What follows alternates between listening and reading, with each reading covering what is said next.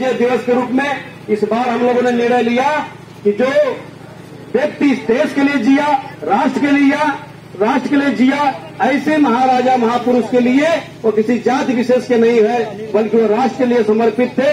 दस जून को गाजीपुर जनपद में आरटीआई मैदान में शाम दो बजे एक बड़ी विशाल सभा का आयोजन किया गया है। अपने मुख्य अतिथि मानी उस कार्यक्रम में रहेंगे। मानी मंत्री अनिल राजभर जी, इन्हीं सब चीज़ों का आग्रह करने के लिए माननीय मंत्री जी आप सबके बीच में आए हैं। मैं एक बार पुनः चाहूँगा आप सबसे कि माननीय मंत्री जी का कर्तव्य ध्वन से आप स्वागत करें और आगे अपनी बात रखने का कष्ट करें मानी मंत्री जी।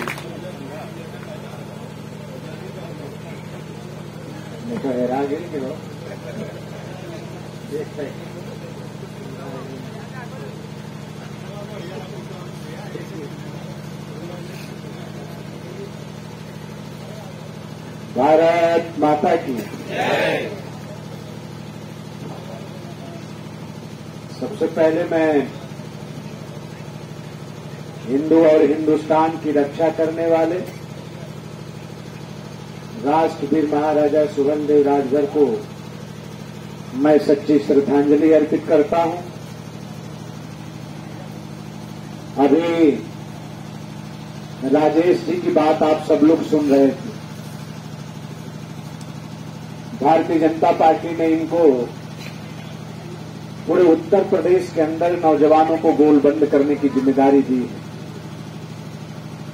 आपके इलाके के नेता हैं और बहुत मेहनत करके पार्टी का आप काम कर रहे हैं। इस विकास खंड के हमारे सम्मानित प्रमुख भाई सत्येंद्र जी भी यहाँ पर बैठे हैं। और हमारे साथ भाई गुड्डू राजभर जी से लेकर और मऊ के हमारे कई सम्मानित नेता, आदरणीय सुगंध राजभर जी, विश्वनाथ जी, भारतीय जनता पार्टी के वहाँ जिला के उपाध्यक्ष भाई मुन्ना राजभर जी, भारत भीम जनार्दन चौहान जी, मऊ में जिला के मंत्री, भाई किसान मोर्चा के वहाँ के अध्यक्ष संतोष जी, विनोद जी तमाम साथी बाहर से भी हमारे साथ आए। यहाँ इस मंडल के हमारे सम्मानित अध्यक्ष उमाशंकर जी भी यहाँ पर बैठे हैं और तमाम इस इलाके और यहाँ के तमाम प्रबुद्ध लोगों का आशीर्वाद इस कार्यक्रम को मिल रहा है। मैं विशेष तौर पर बाबू सिंह जी का, धर्मदेव राजभर जी का, महेंद्र गिरी जी का रजनीकांत पांडे जी का सुनील यादव जी का सुरेंद्र राजभर जी का यशवंत यादव जी का राजू राजभर जी का रामा यादव जी का मानिक बनवासी जी का सिजई बनवासी जी का ज्ञानेन्द्र मौर्य जी का विजेंद्र कुशवाहा जी का प्रशांत सिंह जी का आदरणीय रामधार गुप्ता जी का मनोज राजभर जी का सोनू कन्नौजिया जी का नगेंद्र यादव जी का आदरणीय धीरेन्द्र सिंह जी का दयाशंकर जी का अवधेश जी का हमारे इंद्रदेव कुशवाहा जी का आदरणीय ओम प्रकाश दुबे जी का राम रामाश्रय पांडे जी का उमा शंकर राजभर जी का पीयूष सिंह जी का हृदय नारायण सिंह जी का आदरणीय जितेंद्र राजभर जी का ईश्वर देव राजभर जी का मनोज राजभर जी का शिव प्रकाश राजभर जी का आदरणीय अच्छेलाल राजभर जी का जागेश्वर राजभर जी का परमेश्वर राजभर जी का हरिशंकर जी का और राम जन्म राजभर जी का, और विशेष तौर पर हमारे जो पार्टी के तमाम सम्मानित नेतागण यहाँ उपस्थित हैं, तमाम हमारे पार्टी के कार्यकर्ता साथी यहाँ पर उपस्थित हैं, हमारे इस गाँव के सम्मानित बुज़ुर्गों का, हमारी माँ बहनों का भी, आप सभी लोगों का आशीर्वाद हम लोगों को मिल रहा है। हमारे प्रेस के भी साथी यहाँ पर बैठे हैं। हमारे तमाम प्रशासनिक अधिकारीगण यहाँ उपस्थित हैं। मैं आप सभी लोगों का, मैं एक ही स्वर से, मैं उत्तर प्रदेश की सरकार की तरफ़ से मैं स्वागत करता हूँ। मैं आप सब लोगों का मैं बार बार अभिनंदन करना चाहता हूँ। आज समय कम है, इन लोगों ने कई कार्यक्रम लगा रखा है। तो आज कोई राजनीति की तो बात करेंगे नहीं। और कोई चुनाव नहीं है, इसलिए वोट मांगने हम लोग आए नहीं हैं। जैसा भाई राजेश राजभर जी आप सब लोगों से चर्चा कर रहे थे मैं धर्मवीर राजभर जी का हृदय से स्वागत करता हूँ। आभार भी प्रकट करना चाहता हूँ, धन्यवाद भी देना चाहता हूँ कि आपने आप सब लोगों को बुलाकर और एक जो संवाद का हम लोगों को अवसर दिया है आप सबसे एक संपर्क स्थापित करने का जो मौका दिया है, इस बात के लिए मैं धर्मवीर राजभर जी का, उनके परिवार का, उनके टोला मोहल्ला, इस गाँव के सभी सम्मानित लोगों का मैं विशेष तौर पर आभार प्रकट करता हूँ, आप सबका धन्यवाद देता हूँ। देखिए, आज बदले हुए जमाने में, अभी पीछे बैठक में मैं चर्चा कर रहा था, हम लोग बचपन में दिल्ली जाते थे तो वहाँ जहांगीर मार्ग, अकबर मार्ग है ना और पता नहीं कौन कौन से मार्ग कौन कौन से सरकारी प्रतिष्ठान हम सब लोगों को देखने को मिलता था और ये सारे के सारे लोग और ये सारे के सारे प्रतिष्ठान और तमाम सरकारी चीज़ें इस बात का प्रतीक बन गई थी कि हम उनका स्वागत करते थे, हम उनका सम्मान करते थे जो हमारे देश के दुश्मन थे।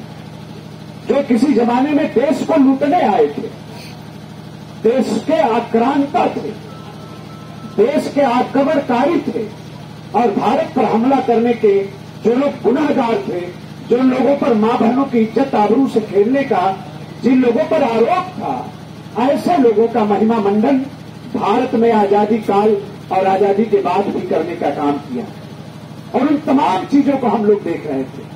लेकिन मैं आज स्वागत करना चाहता हूँ देश और दुनिया के सबसे ताकतवर नेता, भारत के यशस्वी प्रधानमंत्री पूज्य नरेंद्र भाई मोदी जी का, कि आज उनके मार्गदर्शन में देश के अंदर, हमारे जो देश के महापुरुष थे, जिन लोगों ने देश की आज़ादी में, जिन लोगों ने समाज को बचाने में, जिन लोगों ने किसी कालखंड में माँ बहनों की इज़्ज़त और आबरू को बचाने में, जिन लोगों ने किसी कालखंड में हिंदू धर्म को बचाने के लिए, इस भारत भूमि को बचाने के लिए जिन लोगों ने संघर्ष किया था, जिन लोगों ने अपना योगदान दिया था, ऐसे लोगों, ऐसे महापुरुषों का सम्मान आज वर्तमान समय में मोदी जी के नेतृत्व में उत्तर प्रदेश की सरकार हो, चाहे देश की सरकार हो, आज ऐसे महापुरुषों का सम्मान कर रही है।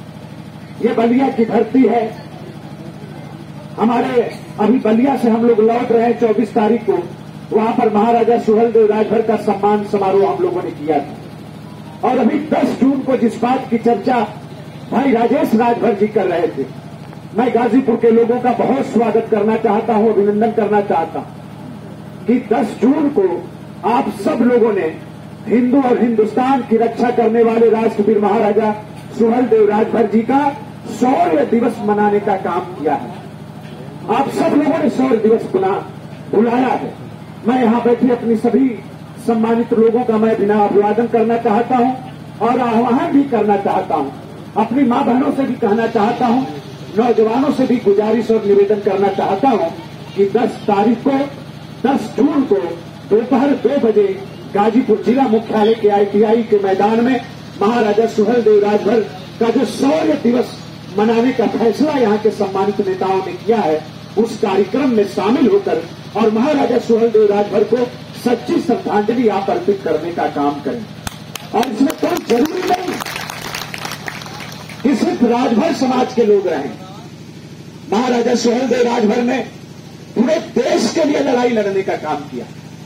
पूरे समाज के लिए लड़ाई लड़ने का काम किया। उस कालखंड में सनातन धर्म को बचाने की लड़ाई लड़ने लड़ने का उन्होंने काम किया। हमारे प्रेस के साथी यहाँ पर बैठे हैं। तमाम बुद्धिजीवी लोग यहाँ पर बैठे हैं। सम्मानित क्षेत्र पंचायत के सदस्य और तमाम प्रधानगण बैठे हैं। मैं आप सब लोगों से बताना चाहता हूँ कि जो लड़ाई महाराजा सुहेलदेव राजभर ने लड़ी, मैं कहना चाहता हूँ कि हिंदुस्तान की धरती पर उस लड़ाई का मुकाबला आपको बहुत कम देखने को मिलेगा। आप कल्पना करिए कि पाँच लाख सेनाओं सहित सैयद सलार मसूद की गर्दन को काटकर और पूरे राजभर समाज के इतिहास को लिखने का काम महाराजा सुहेलदेव राजभर ने किया था। और किसी जमाने में विद्वान लोगों ने लिखा कि महाराजा सुहेलदेव राजभर की तलवार का जब तूफ़ान उठा तो दुनिया के अंदर मुगलों के घर में दीपक जलाने वाला भी कोई नहीं बचा था। किस तरह की लड़ाई रही होगी? और एक बात जिसको भारत के इतिहासकारों ने छुपा के रखा, और खास तौर पर कांग्रेस पार्टी के जमाने में जब कांग्रेस की सरकारें चला करती थी, और उस जमाने में जब कम्युनिस्ट पार्टी, कम्युनिस्ट इतिहासकार जब देश का इतिहास लिखा करते थे। किस तरह से महाराजा सुहेलदेव राजभर के साथ उन लोगों ने बेमानी की? किस तरह से हमारे इतिहास को दबाने का काम किया? आप सब लोगों को मैं बड़ा गर्व के साथ बताना चाहता हूँ कि उस लड़ाई के बाद, जिस लड़ाई को महाराजा सुहेलदेव राजभर ने लड़ा, उस लड़ाई के बाद 175 बरस तक भारत पर किसी भी प्रकार के आक्रमण का कोई इतिहास नहीं मिलता है। आप कोई लड़ाई नहीं दिखा सकते। आप किसी प्रकार का भारत पर हमला हुआ हो, ये आप उदाहरण नहीं दिखा सकते हैं। ये एक सौ पचहत्तर वर्ष भारत अगर सुरक्षित रहा तो महाराजा सुहलदेव राजभर की लड़ाई के नाते सुरक्षित रहा। इतना बड़ा वीर, इतना पराक्रमी, और भारत की भूमि के लिए, इस माटी के लिए, इस देश के लिए कितना बड़ा जज्बा उनके मन में था कि मुगलों का जो आतंक था उसको अयोध्या आने से पहले उन्होंने बहराइच और श्रावस्ती की माटी पर रोकने का काम कर दिया था। नहीं तो ये देश बहुत पहले बड़े खराब स्थिति में हम लोग पहुँच गए थे। तो मैं अपने साथियों का मैं स्वागत करना चाहता हूँ कि 10 जून की वही तारीख है, जिस तारीख को महाराजा सुहलदेव ने सैयद सलार मसूद को मारा था और भारत को बचाने का काम किया था। और इसी 10 तारीख को हमारे साथियों ने भाई राजेश और मोटू राजभर जी ने यहाँ के तमाम सम्मानित नेताओं ने महाराजा सुहलदेव राजभर का शौर्य दिवस मनाने का फैसला किया है। मैं अभिनंदन करना चाहता हूँ। मैं स्वागत करना चाहता हूँ साथियों का। मैंने पिछली बार भी राजेश से कहा था कि गाजीपुर की धरती का अपना अलग एक महत्व है। यहाँ से कोई संदेश उठता है तो उसको अंगीकार किया जाता है देश के अंदर और प्रदेश के अंदर। गाजीपुर में ज़रूर महाराजा सोहलदेव को श्रद्धांजलि अर्पित की जानी चाहिए। पिछले बार इसी जखनिया की धरती पर आप सब लोगों ने महाराजा सोहलदेव का विजय जुलूस निकालकर महाराजा सोहलदेव का आप सब लोगों ने सम्मान किया था। लेकिन इस बार गाजीपुर के जिला मुख्यालय पर आप सब लोगों ने शौर्य दिवस मनाने का फैसला किया है। मैं आप सब लोगों का स्वागत करता हूँ। साथ ही आप सभी लोगों का मैं आह्वान करता हूँ। आप सबका निवेदन करना चाहता हूँ कि उस कार्यक्रम में आप ज़रूर भागीदार हो और उसमें शामिल होकर महा माँ भारती के एक सच्चे लाल को देश के महापुरुष को सच्ची श्रद्धांजलि अर्पित करके उनको सम्मान देने का काम करें और राजभर समाज और महाराजा सुहलदेव राजभर के इतिहास को समाज के सामने उजागर करने का, उसको स्थापित करने का काम करें।